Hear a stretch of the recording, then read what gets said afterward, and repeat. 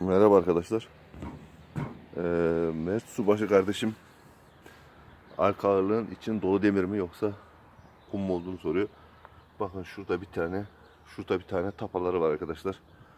Ee, bunların bazıları e, kum dolu oluyor. Bazılarında da talaş.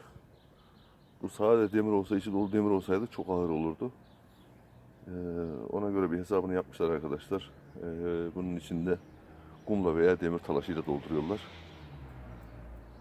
Fazla ağır olmasın diye. Tok demir olduğu zaman çok fazla ağır olur. Ee, arkadaşlar ben bu ağırlığın düşüreni de gördüm.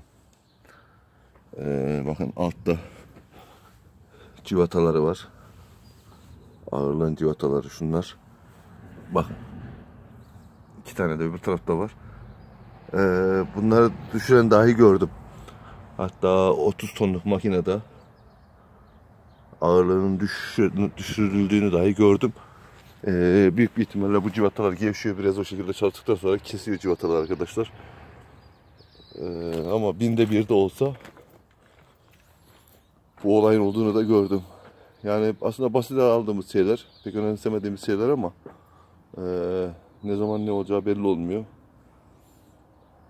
Yani arada bir aklımıza geldikçe o civatalarda kontrol etmekte fayda var. Zaten o civatalar gevşediği zaman ister istemez şuralardan belli eder. Ağırlık ister istemez sağa sola kayar veya ses yapar ama belki sürekli taşla çalışırken insan fark etmeyebilir. Dargınlığına gelebilir. Ama kaç kişi kontrol eder? Kaçımız kontrol ederiz? Ben de dahil olmak üzere. Dediğim gibi çok nadiren olan bir iş olduğu için pek kontrol edilmez.